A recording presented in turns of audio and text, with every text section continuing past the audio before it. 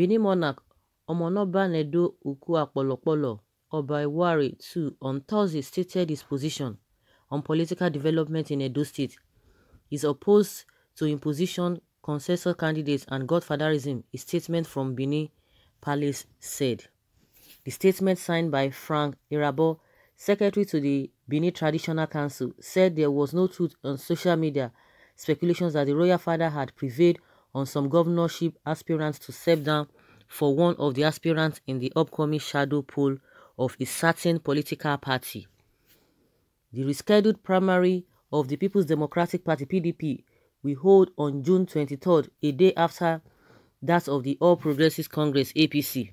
The statement said the monarch's prayer had always been that good God and our ancestors should give us a governor that will accord respect to traditional institutions, develop the state and provide food on the table for the masses.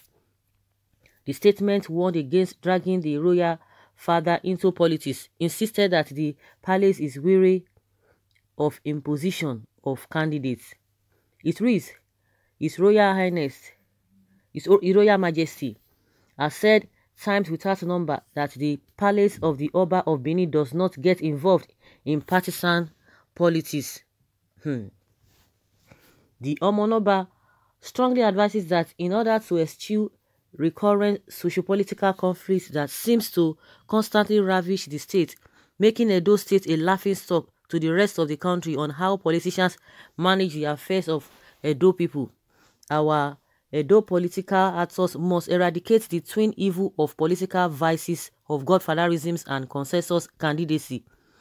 The two practices seem antithetical to the very fundamental basis of democracy. Let everybody take note that the palace is very weary of imposition of candidates when only certain individuals want, but majority of the people do not want. Ghana must go. Politics should end in the state. Politicians should stop uh, cashing in on the poor masses and exploiting them for their votes.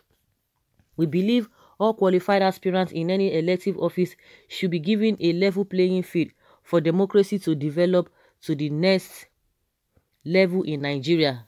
Political actors should be matured, should mature up and learn not to wash their dirty linen in public. The Oba of Benin also admonished politicians as they are preparing for their governorship primary elections to exercise the highest standards of maturity and sportsmanship stressing that the desire to bring about the best for the people of Edo State should not be compromised or sacrificed on the altar of intolerance, rumor mongering, and fake news. The monarch reminded rumor mongers that there is an ancestral curse on anyone who attempts to tarnish the image of the Oba of Benin and the ancient throne of Benin Kingdom, which would normally be for their selfish ends. Okay. Mm-hmm. One thing is, I always say it. The Oba really he tried his best, and the best he has done, he has done his best. But unfortunately, the the two gentlemen who are the actors of this uh, oh shenanigans in Edo State did not listen to him. And I've been saying it. If other people, if other dignitaries have come to settle them to resolve the issues between them, and they refused, what of Oba, a well-respected uh, monarch? He tried his best. He told Buhari that he tried to bring them to, you know, to reconcile the two of them. But what to no avail that if he could do the same thing, but up till now, we are surprised that this none of them want to back to back down. And what can he do? And he does not want to be dragged or drag into this uh, politics and that's why it has it's warning all of them. It's, it does not belong to anybody at least from what we are hearing from the statement from the palace it does not belong to anybody. He only wants good governance and they should do the right thing. If right thing is being done everything will be okay. And again from what from his own account these people have really brought a, a embarrassment. You know the state has become a laughing stock now because any yeah anywhere you hear is always always about Oshiomhole, Obaseki, Oshiomhole, Obaseki. And this thing did not just start now. It has started for close to two years. Close to two years. It's really, really awesome and very, very surprising that all to no avail those who have come to reconcile them couldn't even achieve much. They are bent on going their separate ways.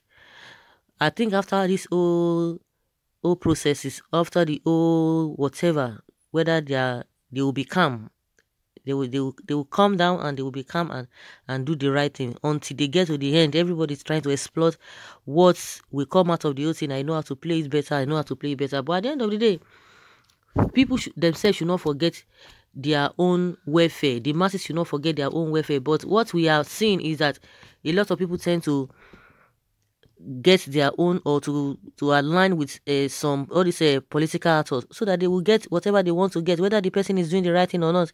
It is not their own uh it is not their own concern. All they want to do they will just continue to tell you what you want to hear because they know if they tell you the truth they will not get anything from you. But what is the thing that you want to get in the first place that will last you forever? It's going to be peanuts as well so people just tend to follow all these uh, politicians because of what they want to get instead of you to tell them what what is the right thing to, to be done.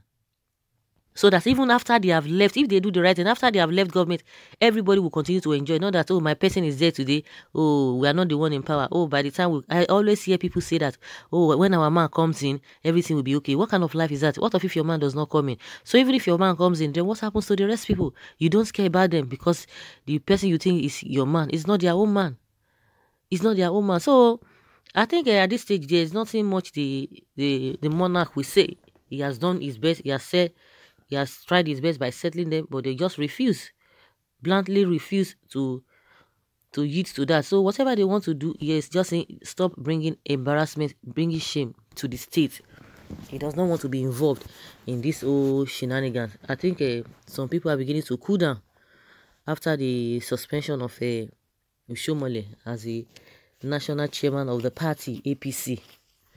PDP mostly looking where money is for looting.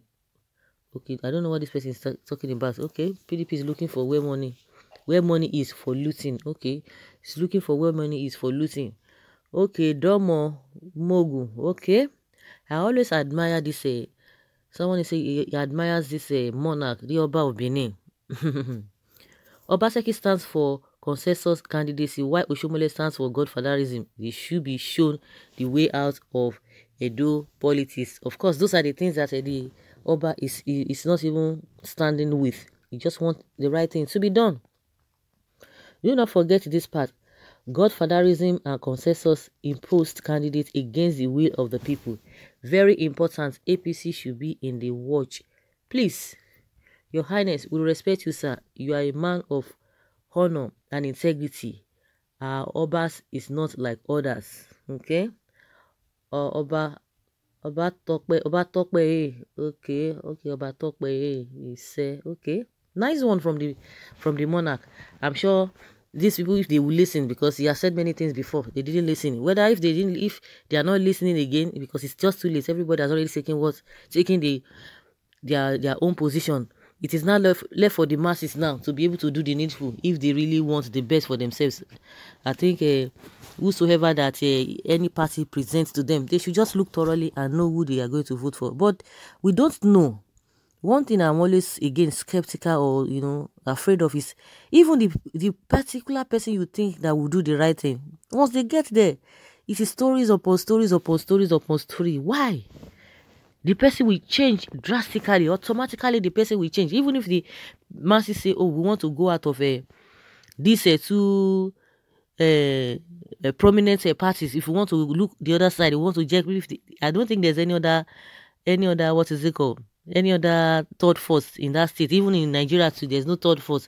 If people try to say okay let us go the other way. The problem is that once you get there they get there you begin to see different things. You begin to you'll be surprised that is it not the same person that uh, we all voted for, we all uh, supported at the beginning. So why the change? They will be giving excuses. It's like they will just fall in. If the foundation foundation be destroyed, what can the righteous do?